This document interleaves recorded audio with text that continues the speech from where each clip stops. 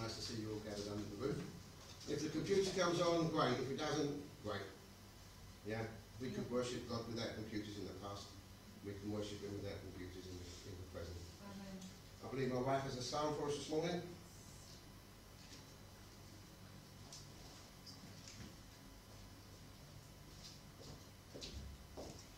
Good morning, everyone. God bless you. May we stand for the reading of the word.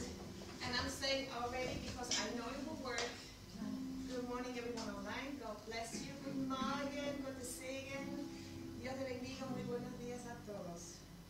Psalm 85. Lord, you were faithful to your name. you restored the fortune of Jacob. You forgave the iniquity of your people. You covered all their sin. You withdrew all your wrath. You turned from your hot anger. Restore us again, O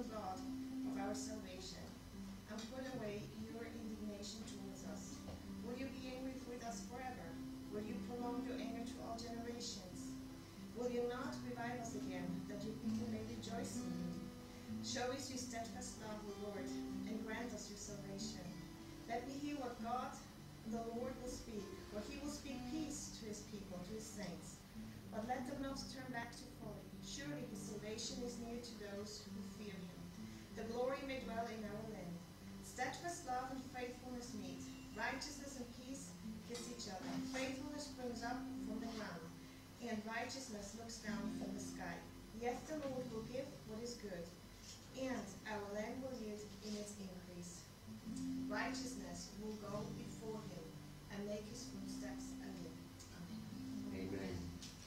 Father, fix our hearts, fix our minds upon Christ Jesus, your Son. Let whatever else is going on, wherever it is, just take no precedence, no preference. But let us just concentrate and solely think upon you, consider you, and give you the glory, give you the honour, give you the praise, give you the thanks. Open our minds, open our hearts to your word as, as we expand upon your word later. Remind us constantly of the wondrous gospel Jesus Christ, our Saviour. Empty us of things of this world. Let us not be concerned with what's going on. Let us be more concerned with who, and that is you. So, Father, I pray right now that you lead us, you guide us only by your Spirit. That you would be lifted up, you would be worshipped, you would be adored, you would be praised. To your glory and to your honour. Jesus' name. Amen. Amen. We're going to start an old hymn, so I'm sure many of you may know this one.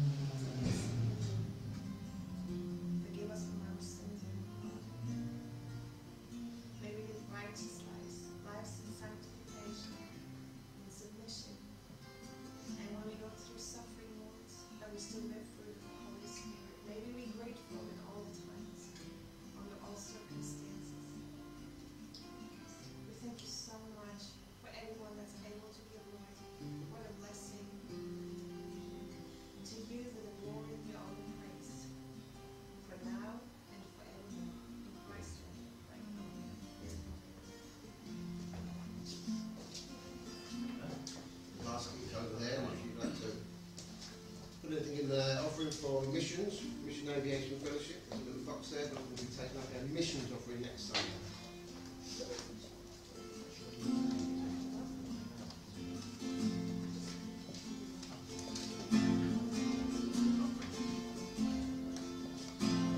stand and sing Blessed Assurance.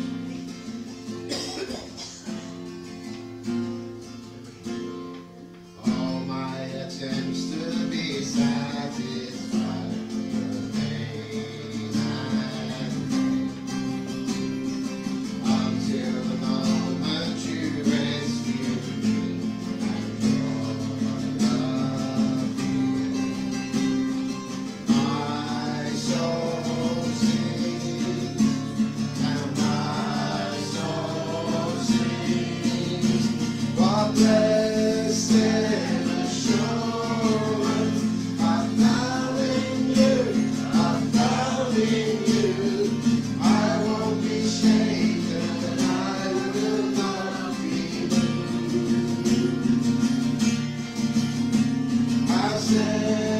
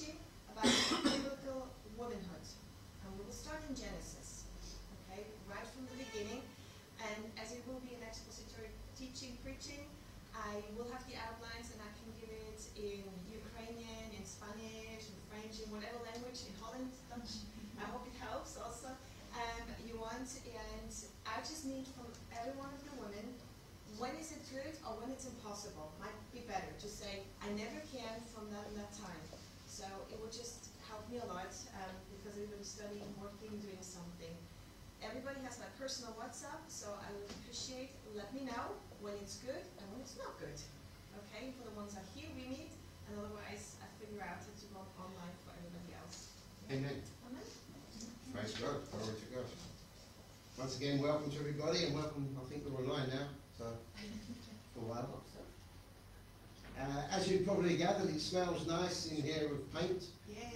Um, I'd like to thank uh, Brother Derek, uh, Dennis, sorry, for all his hard work. He's been painting, scraping, filling, filing, doing everything.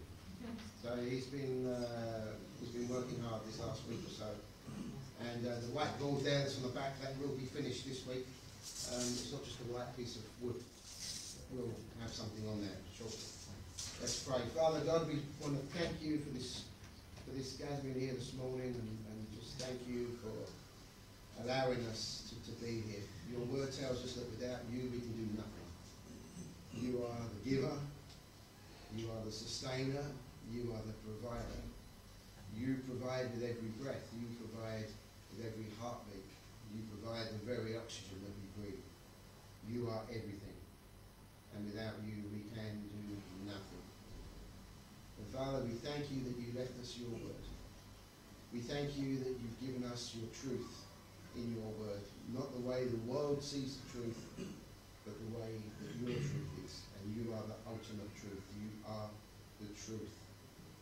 And I pray that as we work our way through this teaching, preaching, this book this morning, that it be your Holy Spirit that illuminates this word to each one of us, to our hearts and to our minds, that we can apply it to our everyday lives.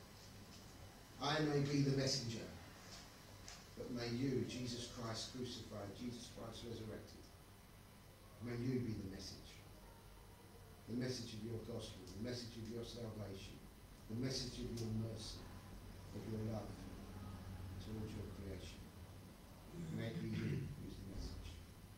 To the glory of Jesus' name. Amen. Amen. If you'd like to open your Bibles to the book of Jonah, we're going through uh, the book of Jonah at the moment.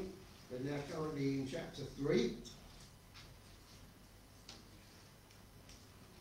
This is for us part 5. If you'd like a Bible, we've got Bible. If you'd like a Bible. It's going to be on the screen anyway, so if you haven't got a Bible, you can read it on the screen, as long as the computer keeps going. So we're in uh, Jonah chapter 3, verses 1 to 10. Now the word of the Lord came to Jonah the second time, saying, Arise, go to Nineveh, that great city, and preach to it the message that I tell you. So Jonah arose and went to Nineveh according to the word of the Lord. Now Nineveh was an exceedingly great city, a three-day journey in extent. And Jonah began to enter the city on the first day's walk. Then he cried out and said, Yet forty days, and Nineveh shall be overthrown. So the people of Nineveh believed God, proclaimed a fast, and put on sackcloth, from the greatest to the least of them. Then the word came to the king of Nineveh, and he arose from his throne and laid aside his robe, covered himself with sackcloth, and sat in ashes. And he caused it to be proclaimed and published throughout Nineveh by the decree of the king and his nobles, saying, Let neither man nor beast, herd nor flock taste anything. Do not let them eat or drink water, but let man and beast be covered with sackcloth and cry mightily to God. Yes, let everyone turn from his evil ways and from his violence that is in his hands. Who can tell if God will turn and relent and turn away from his fierce anger, so that we may not perish? then God saw their works, that they turned from their evil way, and God relented from the disaster that he had said he would bring upon them, and he did not do it. Verse 1 Now the word of the Lord came to Jonah the second time.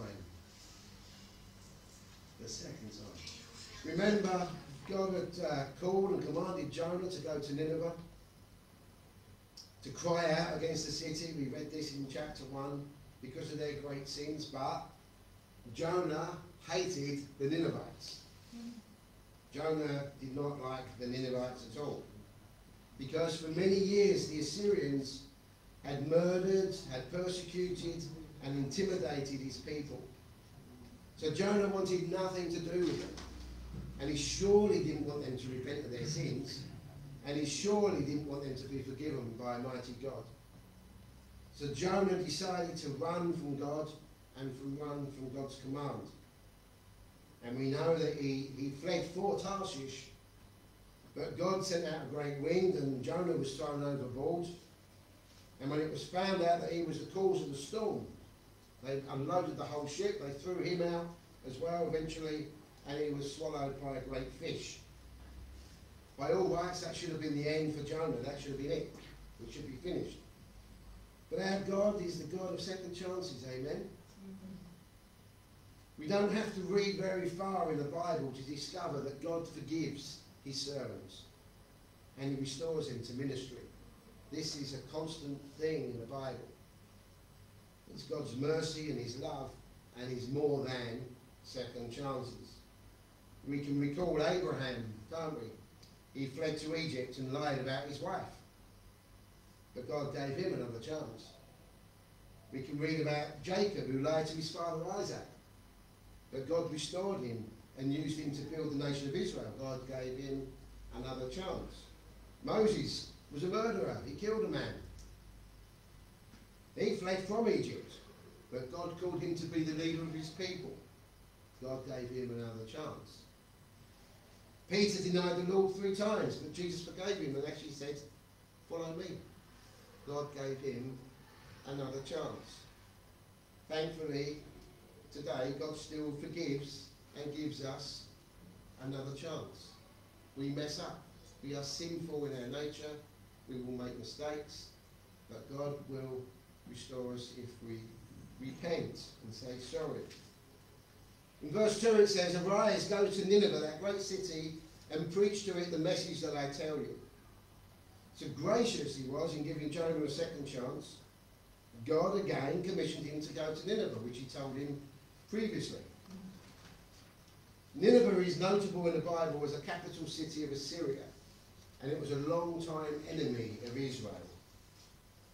The city was actually built by um, Nimrod, the great warrior, who also built Nineveh, but he also built Rehoboth, Ir, Calah, and Resen. So he was a great builder at the time, Mr. Nimrod. Nineveh was known for its great wealth, it was known for its power, it was known for its prestige, it sat on a very prominent place in the peninsula, and it was also known for its polytheism. It worshipped many, many gods, different gods. And the Assyrians themselves were, were notable for their cruelty and their idolatry. That's brought out in Nahum 3, we can read about that. Nineveh contained many temples. One was included to uh, Ishtar, that was a multifaceted goddess who takes on three forms. She's the goddess of love, she was the goddess of sexuality, and accordingly, therefore, then also fertility. She was responsible for all life, but she is never a mother goddess. There was always a god above her. But she was well worshipped in Nineveh. She was also the goddess of war and was often shown with wings and bearing weapons, bearing arms. As well as many other gods and deities that they worshipped, Dagon was also a prominent influence, and we're looking to Dagon a little bit later. We read in chapter 1, verse 2 God said, Arise, go to Nineveh, that great city, and cry out against it, for their wickedness has come up before me. We know that God told him to arise, but what did Jonah do? He didn't arise, did he? He went down. He went down to Joppa. He went down to the lower part of the ship. And he eventually went down into the ocean. So he was disobedient. This does not specify exactly what Assyria's wickedness was, but it does state why Jonah was so fearful. We can get a vivid picture of Assyria's violent early 8th century status and consequently the trepidation that Jonah must have felt today thanks to various archaeological discoveries including inscriptions, uh, wall reliefs and other artifacts. I've got a picture here, this, uh, if I get his name right, this is a statue of the king, of an Assyrian king. He was, uh, his name was, if I say it properly, Ashurnasirpal. Ashurnasirpal. There you go. And he was, uh, a century earlier, he was the leader of the Assyrians. There's another picture here. This is taken in the, from the British Museum. And then that's him. This, these were taken from Assyria before, unfortunately, ISIS destroyed a lot of it. But these were taken from Assyria and kept in the museum. This is uh, Ashurnapal's face, but on a lion's body with wings like a great warrior that he wanted to be. You can see how great and grand they are. And that passageway is a huge corridor with artifacts that have been saved and rescued from, from that area, from Nineveh. Okay, so we have a wall relief, which is the next picture. So that shows, that's what we call a wall relief. So this, this was on the walls and all over the city, showing their great victory, their great warriors, and so forth. And then we've got another one here. Recognise that? Yeah. Anyone that's watched any war movies in the Second World War, you'll probably recognise the wings and the eagle. Someone else used it, didn't they? With the swastika in the middle. It denotes great power, sovereign power, and it denotes fear. And then we have one more picture. This is another wall relief. This was uh, depicting the Assyrians impaling the Israelites. They used to impale them on a, on a pole up their bottom, okay, up the rectum. They would impale them on the pole, and if they impaled them correctly, they would stay alive for days in pain and agony. And some of them then would be skinned alive and their skins would be hung up. This was how evil Nineveh was. This was Nineveh. Yeah, so this was just, and they glorified in this. This is why they made these wonderful, what we call wall reliefs, to say to people, look how powerful and strong and great we are.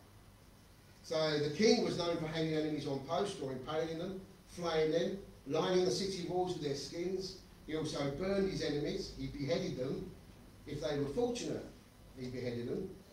As with others, he would have them still alive, and then he would cut off their noses, cut out their ears, cut their eyes out, and other extremities would be removed while they was alive, and he would try and keep them alive for as long as he could, so he could torture them.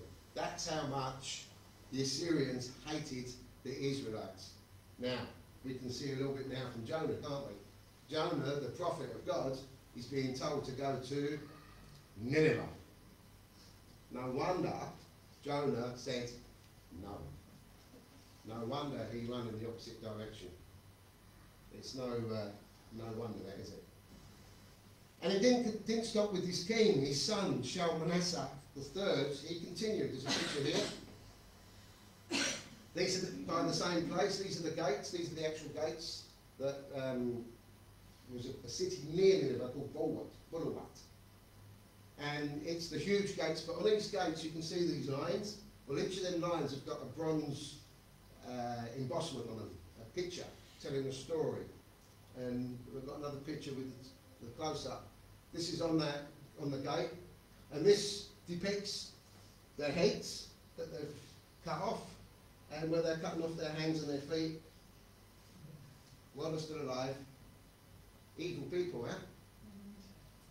And that really happened. And when you see some of the stuff that they get up to with ISIS, yeah, yeah, you know where they get it from. Barbarian people that hate with a vengeance their enemy. So that shows their, their heads and being hung from walls, impaled captives, and they were skewered and put on like totem poles and displayed throughout the city. So this was the terror. This was a real terror that was faced by enemies of the Assyrian empires at the time of Jonah. So you can imagine when the Assyrians invaded a country, that even probably before they invaded, the people were already surrendering, giving up, or just committing suicide because they didn't want to be captured. The Assyrians sought to keep their empire together by way of extreme terror.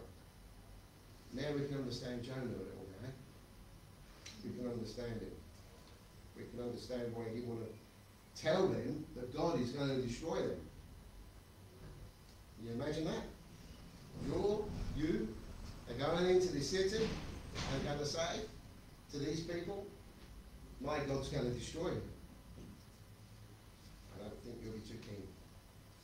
We can't even do normal evangelism. So I don't think we would have been worried about so much of that. Jonah's uh, Nineveh is thematically connected to Sodom, another biblical city of evil. We read about that in Genesis 18 and 19. God tells Abraham that the outcry of Sodom is such that he must go down to investigate. Genesis 18, 21. Similarly, God sends Jonah to Nineveh, the great city, telling him to that, that the evil has come up to him and he must go down to it and warn them. The word actually was used as overthrow. It's the same word that was used in Genesis and the same word that's now used in Jonah. He's prophetic preaching to Nineveh in Jonah 3 4.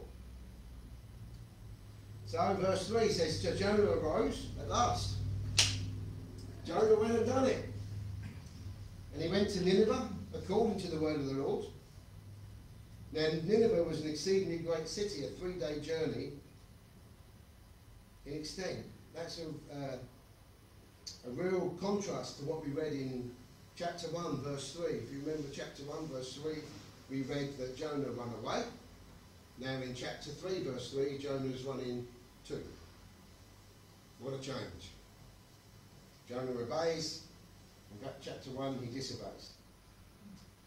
A big city, a metropolitan city, the size of Nineveh, we looked into it on the first, um, the first teaching that we went into, had a circumference of about 100 kilometres. So that would require about three days to, to cover the whole distance. We reckon approximately 30 kilometres a day is the distance a person can normally travel by walking. And we can only assume that he walked, he didn't have any kind of chariot or horse or cart or anything, but um, that he was walking. And these are that, that are mentioned that are confirmed by historians through the excavations that they've carried out to the present day. So he would have been three days. Normally, in a big city, the protocol was to enter the city on the first day. On the second day, to go before the, the council, or the main council, to ask permission to be in the city and to give the word. And then on the third day, he will give your message. But it appears that Jonah was in such a hurry to get his message out that he didn't bother with the, with the protocol. He went straight in and started proclaiming. The size of Nineveh is actually expressed in terms of the time it would take Jonah to carry out his assignment. Remember, he would be going to all the public places, the places where you would go to, town square. We know that had squares, it had gardens, and it had many wonderful places, temples. He would have gone to all the prominent places to preach the word. And his itinerary would have included many of the dozens and dozens of gate areas where several temples were, but where people gathered. In verse 4 it says, And Jonah began to enter the city on the first day's walk. Then he cried out and said, Yet forty days and Nineveh shall be overthrown. So on the first day, he starts proclaiming. He probably thought, I'm going to die. I might as well get the message out as quick as I can. I think I would have thought the same, same way. So he didn't wait, he didn't do the protocol, he didn't walk around the city, check things out, or get comfortable. He went straight in and proclaimed. When Jonah was preaching the message to the people of Nineveh, there was no love in his voice, was there, by the looks of it? He cried out and said, Yet forty days and Nineveh shall be overthrown. That's all he said. That's all we got written. We don't know whether he gave them a story, a gospel. We don't know whether he told them the story of the great fish, the storm. We don't know any of that. None of that is recorded. All we have is that he basically gave them the facts. Yet 40 days and Nineveh shall be overthrown. He showed no concern for them. He didn't plead for them to turn to God. He didn't uh, say, You must turn to my God. He didn't even mention repentance as it was not Jonah's hope, I guess, that these people would repent. I would think Jonah was quite happy to be in the knowledge that they're all going to die. God is going to judge this city and they're all going to die. In fact, he would have been so afraid of them because their reputation, he would have known that. He didn't want them to repent, he wanted them to perish. So he said nothing to them except destruction within 40 days. The truth is that they knew that Jonah hated them. They knew he was an Israelite. They knew he was a Hebrew. And he wanted them to perish. They would have known that. That would have been common, common sense to them. But they knew also that his message was from God. Jonah was the first missionary ever. The first missionary to go into a Gentile nation. The first one to proclaim the news of God into a Gentile nation. When Jonah's coming to Nineveh was a sign of God's judgment. But what do we see when we read Jonah? We see judgment. What else do we see? God's mercy. God's mercy. God's grace. The message Jonah brought was short, simple, and it was one of harsh judgment. You're going to be destroyed. It was straightforward. His message simply was God is going to judge you for your sins. I think now, if the Ninevites were listening, now they would be scared. Now they would get worried. Because in verse 5 we read this. So the people of Nineveh believed God, proclaimed a fast, and put on sackcloth from the greatest to the least of them. So they believed God. Only God can make someone believe. Only God can turn that heart. Only God can turn your spirit. Only God can turn your thoughts. And only God can make that happen. There is nothing else, no one else that can incur that to happen. So the people of Nineveh believed in God. This is, this is really interesting. Don't we read that Abraham believed in God and was, was accredited to him as righteousness? Faith? Don't we read that? Therefore, they also came to faith. They also came in to believe. The Assyrians in Nineveh worshipped, among other things, Dagon and his female counterpart, the fish goddess Nashnu. And the images of this fish god guarded the entrance to the palace of the temple of Nineveh. As we know, Jonah did not go straight to Nineveh, but he had to be brought there, didn't he? Via a strange transport, miraculous transport, of God providing a great fish. That would have been full of meaning for the Ninevites. That would have meant a lot to the Ninevites. We have no account that anyone witnessed his arrival onto dry land. But there is that possibility that someone saw Jonah being vomited from the fish onto dry land. You imagine that? I think if you've been vomited out of a fish after three days, you'll probably lay on the beach for a while or wherever you are to get your head together. But someone who saw it, maybe they was on a cliff top, would have run straight away, wouldn't? Hey, guess what I've just seen? You know, or maybe a bunch of them. So they would have gone straight to the city. We've just seen a guy come out of a fish. A man. Has been delivered to us by a fish. And there's that possibility. Or we have the, the, the possibility of the sailors. Remember the sailors on the ship that threw him over? They had to throw him over. Well, the storm ceased the moment they threw him over.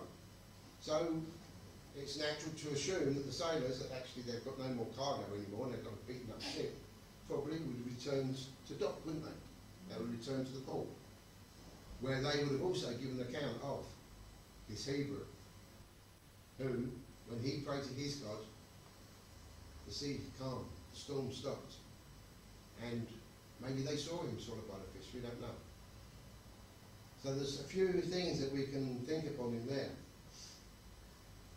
We know that the Ninevites also worshipped this fish god. So they may have been pretty impressed actually when all of a sudden this fish man walked into their city. Maybe they suddenly thought, we better listen to this guy. He's from our God, from Dagon. He was probably a bit smelly, probably had no colour to him, he'd been bleached by the intestinal fluids, but maybe he looked weird. Maybe he sounded weird. But they certainly took notice of him. Remember that when the storm ceased, the sailors were saved. And what did they do? They worshipped immediately the, our God. They worshipped him and made vows to him. They were converted. They were converted. So the God of Jonah, maybe this story had already gone ahead of Jonah. It could have taken him a few days to have reached Nineveh from where he, he got spat out of the fish. We don't know that either. But notice here, the text says they believed God, not Jonah. They didn't believe Jonah, they believed God. Reminds me of Romans 10 17. Romans 10 17. Faith comes by what? By hearing, and hearing the word of God. Jonah was the messenger, he was a prophet. But what was he declaring? Word of God. Faith comes by hearing, and by hearing the word of God. So they didn't believe in Jonah, they believed in Yahweh, in God. Now everything's changed. What does this mean? What does that mean they believed in God? It means they responded to the word and the claims of God. They may not have had much knowledge of him, same as we don't have much knowledge of him. But they knew he was all powerful. He was powerful enough to judge them and to destroy them, that it led them to submit their lives and their will to God. By proclaiming a fast and putting on of sackcloth, they outwardly displayed repentance, something this nation would probably not have uh, done easy, repent. Therefore, they would have then proved their faith by their repentance. How is it you prove your faith? How is it you, you know you're a Christian? How is it you know, apart from what you read and what you know, it's that you grieve over your sin, that you're aware of your sinful nature, and it saddens you, it destroys you, it brings you down when you think just how sick you really are, and how wonderful, forgiven, and great and mighty God is. That is how we know we're saved. If we don't worry about our sin, then I would worry about your salvation. If you go through life and you go and do certain things and get involved in certain things and doesn't worry you, then I'll be concerned. But we all make mistakes. And thankfully we've got a God of what? Second chances. Merciful God. Forgives us when we come to him and say, sorry. I'm sorry. Real faith results in repentance, and repentance results in faith. It's an ongoing circle. Where there is godly faith, there is repentance, and where there is godly repentance, there is godly faith. Second Corinthians seven ten. What does it say? I think I've got it on the book, yeah. For godly sorrow produces repentance, leading to salvation. Not to be regretted, but the sorrow of the world produces death. That means when you're sorrowful because of the consequences of your sin, that is worldly repentance. When you're sorrowful and repentance of how you've offended a mighty holy God, that is godly repentance. When you understand that you've broken his commands and you've broken his heart, he's looking at you and going, no, not again, please don't. Not that you've upset your mum or your dad or someone. It doesn't really mean that. Godly sorrow leads to repentance. That means people grieve over their sins. This is what was happening there in Nineveh. They were understood. The message was clear. Now we're grieving. Now we're sorrowful.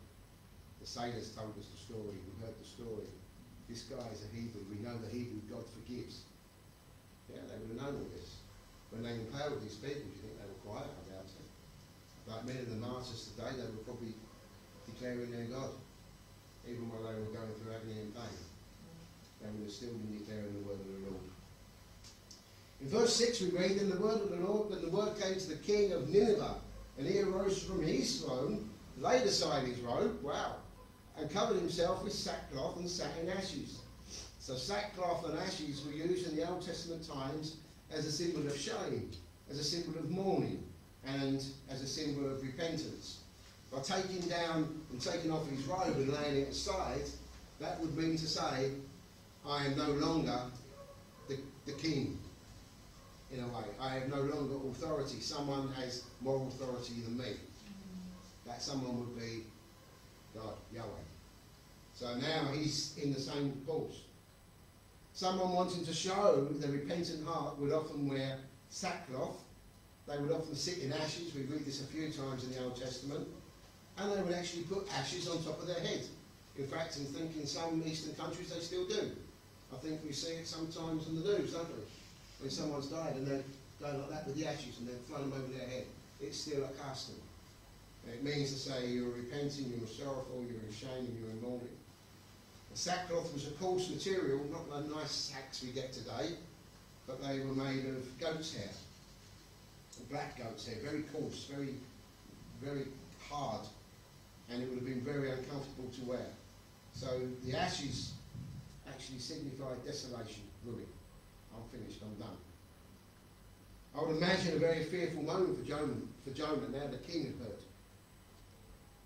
The king has got word of the fishman. What is going to happen to the fishman? I guess the, the king's response was not what Jonah was expecting, that the king would actually repent. Because this man had been claiming judgment upon his people. Yet we also read that this vicious, evil king, not only did he repent openly before the people, because they would have a fear of destruction, that he himself become an example of repentance and humility. Let's read verse 7. It goes even further. And he caused it to be proclaimed and published throughout Nineveh by the decree of the king and his nobles, saying, Let neither man nor beast nor herd nor flock taste anything, do not let them eat or drink water, but let, let man and beast be covered with sackcloth and cry mightily to God. Yes, let everyone turn from his evil way and from the violence that is in his hands. As the sailors had cried out to their gods with no avail, the, queen, the king quickly realised that this one God was more powerful than all his gods and all of his deities. Doesn't matter who he worships Now this Dagon and Ishtar and all the others were not responding, but this powerful, one powerful God is about to respond. And the king puts everything down. Can you imagine the panic going through the streets? If you put yourself back in them times, that dusty hot, dusty atmosphere. People running around, screaming, hollering, we're going to die, we're going to perish, destruction's coming. We've heard what happened in Sodom, and this is going to come, it's going to happen to us. Can you imagine? Would you try fleeing the city? Well, I'm still a Ninevite, I still took part in that. This God's all powerful, it doesn't matter if I run away. Jonah tried to run away, but God still had his will going. So you can imagine. Declaring a city-wide fast at the time of mourning, that was even extended to animals. That's a bit strange. What was the point of depriving animals of food and water? They didn't need to repent, did they? Animals have, have no soul. They, they have no understanding of a God. No, they didn't, but their owners did. So, as the animals got hungry, the bleating of the sheep and the crying of the other animals would have been a reminder to them in their ears that God and His nation is turning itself in humility and repentance towards God. So, with all the panic that was going on in themselves, with everything that was going on around them, there you've got all the animals, hungry, thirsty, making a noise. You know what it's like when you don't feed your dog for a few hours? Yeah, they cry and howl and cats sort themselves out. But the other animals would have been weeping, bellowing, moaning, maybe even dropping dead. We don't know. In fact, it was a Persian custom, when we look into it, that they used to use animals in mourning ceremonies. And to some extent, we still do, don't we? If we see a, uh, a regal funeral, normally the, the hearse is pulled by what? A horse. A horse is. So it's, it's still there, usually a black horse and it's covered in, in mourning clothes. So we still do to some extent use animals in, in these times. So in verse 8 he says, he carries on, yes, let everyone turn from his evil way and from the violence that's in his hands. The king's royal warning was straight to Nineveh's most prominent sins. Evil. The king could not deny now that they were evil. They were an evil nation, an evil race. Physical violence, social injustice. Social injustice. We complain about social injustice now. Social injustice there in Nineveh. I don't think you would have got away with a protest there. But these are all hallmarks. In verse 9 we read, the king, who can tell if God will turn and relent and turn away from his fierce anger so that we may not perish? They could only hope. And that hope was joined with praying and fasting. They were desperate for God to relent and they'd just about done everything they thought they could do. Will God relent or will he destroy? We need to remember this in our modern day Christianity. Because all we hear from the majority of churches and evangelists is God is love. God is love. God is love. Yes, he is. He's also a judge. And he hates sin. And he's going to come back. And he's not coming back to calm the world and go, oh, you're so lovely. What does it say he's coming back for? To judge. God, Jesus is coming back to judge. God's a God of judgment. He's a judge. The judge. He holds the truth. And he knows. Nothing's hidden from his son. He will judge the wicked and the faithful. This is exactly what's going on here. And this is a picture, once again, that we can see in this, what they class as a silly little book of Jonah. We see God's judgment, yet we see his mercy. We see Christ Jesus all the way through. Christ Jesus, the mercy of God, the attributes of God, his love, even to the most wicked of wicked of wicked of wicked of people, that he's going to give them another chance. We may not like that, but we're not God. And we can never say that we're not wicked, because we are. And then it says in verse 10, Then God saw their works, that they turned from their evil way, And God relented from the disaster that he said he would bring upon them, and he did not do it. They escaped. This is interesting because the Bible never says anywhere that Jonah's message included any mention at all of God's mercy. But mercy is what they received. Is that not what grace is? Undeserved favour. Amazing grace. Do you deserve God's grace? No, you don't. Do you deserve God's judgment? Yes, you do. Yes, I do. Yes, we all do. But God, in His mercy, gives us grace. Wow. It's clear that the Ninevites, by putting on their sackcloth and ashes, it wasn't just a show. This wasn't just, I'm sorry, Lord, I've messed up. This was a real down in the dirt. I'm sorry, I'm sorry, I'm sorry, I'm sorry. My eyes have no more tears to cry, yet I'm still crying. That is the repentance that they would have shown. So God saw a genuine change, a real humble change of heart. And it caused him to relent and not, to, and not to bring about his plan to destroy them. Their repentance and their fasting. There's three things here. Fasting, which means to go without food, was in order to tend to the spiritual matters. Maybe it's time to cast aside their gods and to worship and give vows to the one and only true God. The second was prayer. Prayer and fasting go together, just as repentance and faith go together. So they were praying, and they're praying to this God of, of Jonah. Please, please, please, please don't destroy my family. Don't destroy my wife. Don't destroy my children. Don't destroy my grandchildren. They're innocent of all this, but blood is on their hands. They threw themselves upon the mercy of God in prayer. Prayer is the last resort of the sinner. Yet it's the first command of the Lord. Let's read that in Romans 10, 13. What does it say? For whoever calls on the name of the Lord shall be saved. What is calling on the name of the Lord? Is it not praying? It's praying, isn't it? Call on the name of the Lord, the Lord shall be saved. They didn't just stop eating, they stopped eating because they were far more concerned about their survival than what they were going to put in their tummies. And obviously there's a third element. There's fasting, there's prayer, and there's confession.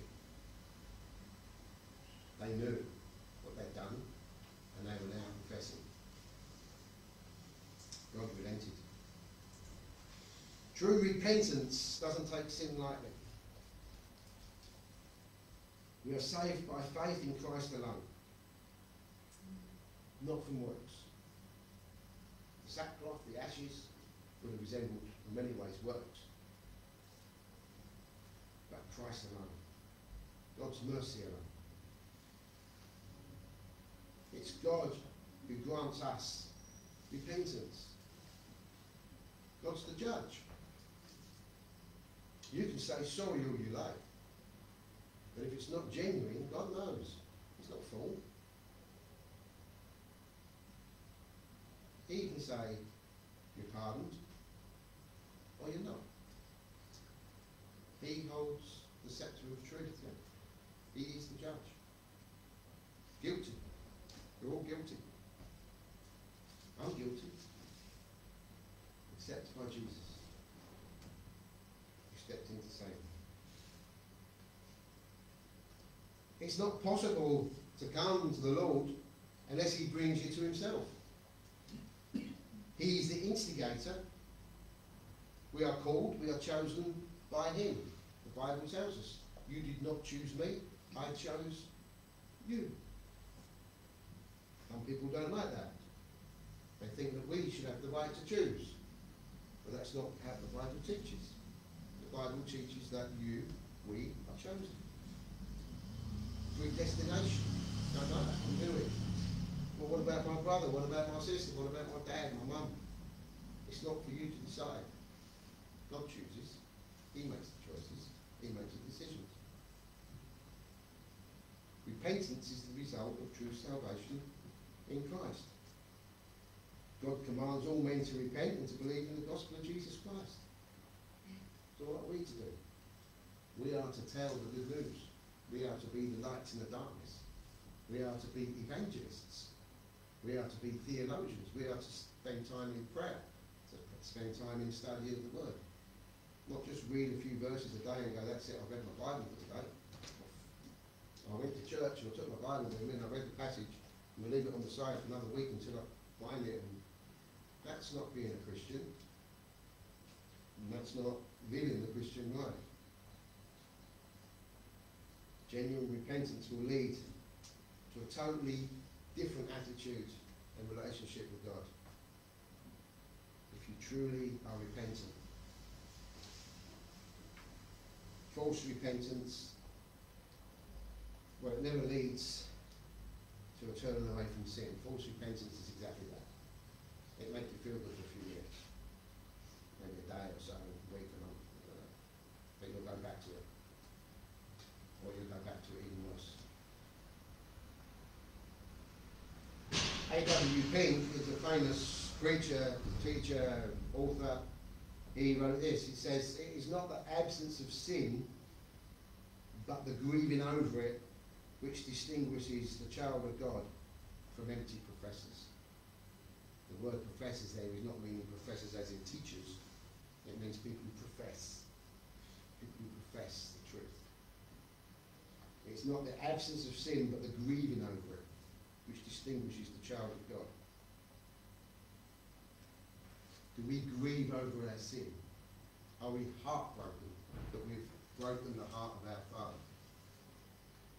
That He grieves over us. Those of us that are parents, yeah, just take a small snapshot of when your child, your son, or your daughter has done something that has completely broken you.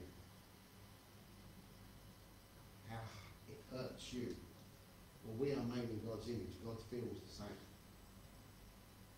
How it break his heart when his creation, who he gave his son for on the cross, is disobedient. It must be bad enough. But when that son, that daughter, is going in to do something that is going to cause him more harm, that's sin. It's going against the will of God. In the Hebrew text, Jonah's message is only five words. Yet God used those five words to stir up an entire population. From the king on the throne to the lowest peasant in the field, even the donkeys and the horses and the, and the animals. God gave the people 40 days of grace, but it appears they didn't need that long. What does that mean to us? This is our application from the Word of God today. We get the impression from this message that the very first moment they saw Jonah and heard his warning, they listened and they paid attention. They didn't ask questions. They get the impression they paid attention.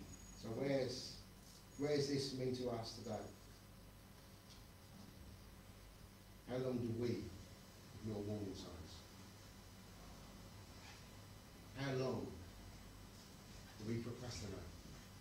Do we sit and think, well, man, that may not happen. That one, that never happened to me. This will never happen to me. I'll never get cancer. I'll never get this. I'll never get, that won't happen to me. I'll never fall into sin. I'll never disappoint God. I'll never upset my children. I'll never upset my husband, my wife in a way that's going to cause grief. See the warning signs, and there's a warning sign. I, I, I, I, I, I, I, I. God forgive me, God protect me, God guide me, God lead me. That's what it means to make your vows. That's what it means to be a Christian, to believe. Dependent not upon you, on I, but dependent upon God. God, let it never happen that I forsake my husband, I forsake my wife. Protect me from the sinful world around me, the temptations. Every day in the Lord's Prayer, deliver us from evil. How long do we ignore warning signs? How long do we ignore warning signs in our health? Us guys are the worst. We get backache, eh? we go on for weeks, months, years. Eventually we can't walk one day and the doctor says, well, you know, you've done this. Why didn't you come when it first happened? Well, we don't do it, because we're what, frightful? Or we just get on with it? But we do that as Christians as well. We see the warning signs, the internet, the images that come up in front of us, the, the games we may play, the, killing slaughtering people. It's nothing. It's, it's only a game. It's only a game. Not really, is it? Because the idea is more than just a game. The idea is that you can kill people and get away with it, and the idea is that if you get killed, you get up again and kill more people. All the games now, all about killing. Kill, kill, kill, kill, kill. Anti-God. Anti-Christ. Anti-Christian. That's the truth. God gave them people 40 days. How long do we have to have until we see the signs? Do we respond quickly and positively? Or are we going to walk around unlike the Ninevites until bang, judgment? Does our heart break for our loved ones who ignore the warnings? We have brothers and sisters and mothers and fathers, cousins, aunties, uncles, friends, neighbours who ignore the truth of the gospel of Jesus Christ. That's not your fault, but have you told them? Have you given the warning, like Jonah? Have you gone in to a hostile environment, maybe, and sat down and said, guys, I need to tell you the truth. God is sovereign over all, and you're in sin, and you're going to die in that sin, and you're going to spend eternity in hell. Ooh, that won't get me invited back for dinner, will it? But that's the truth. Are you prepared to be a Jonah and come out with the truth? You're going to be destroyed. Repent, turn. Because it's up to God whether the people listen to the message and respond. But you have a voice and you have the word of truth. And you have a responsibility to declare that truth. As I have a responsibility to declare the same truth here. So are we going to ignore the warning signs? Are we going to just accept our brothers and sisters and girlfriends and boyfriends and mums and dads are going to hell? No, I'm alright. I'm saved. Jesus loves me. Yeah. Oh, sorry. I won't be seeing you up there then. Hmm. Wake up, church. Time is short. You may have told them the gospel, they still resist. Or maybe you haven't told them the gospel. Do they know about your faith? Do they know that you're a believer in Christ? Do they know that you have a Bible? Or is it a bit of a secret thing?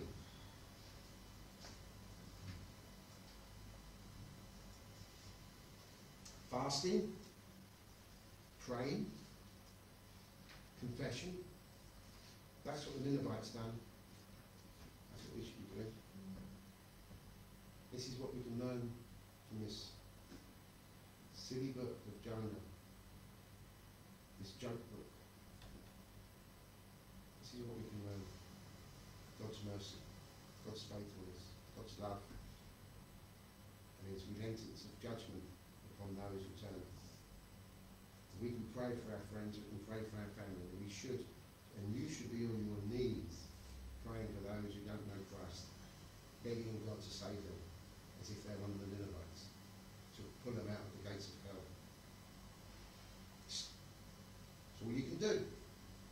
Tell them the truth and pray. God will do the rest. You are not the Holy Spirit. The Holy Spirit will do that work. Amen. Let's stand and finish on one song.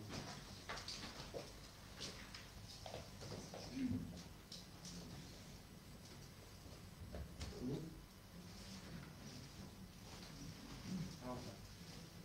Okay, I'll just clarify one thing, because my wife has brought a good point.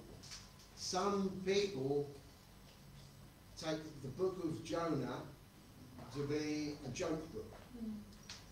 Okay, they think it's a humorous, laughing thing but that God put in there to show his sense of humour. When they talk about the giant fish and, and so forth. Um, as we've been going through the Word, we've seen that the Word of God actually stands firm and true, that it wasn't just a whale like we see in the pictures that was flapping about on the surface and happened to swallow Jonah, but God prepared in advance the storm, God prepared in advance the big fish and got prepared in advance Jonah's mission. That wasn't and it isn't a joke with.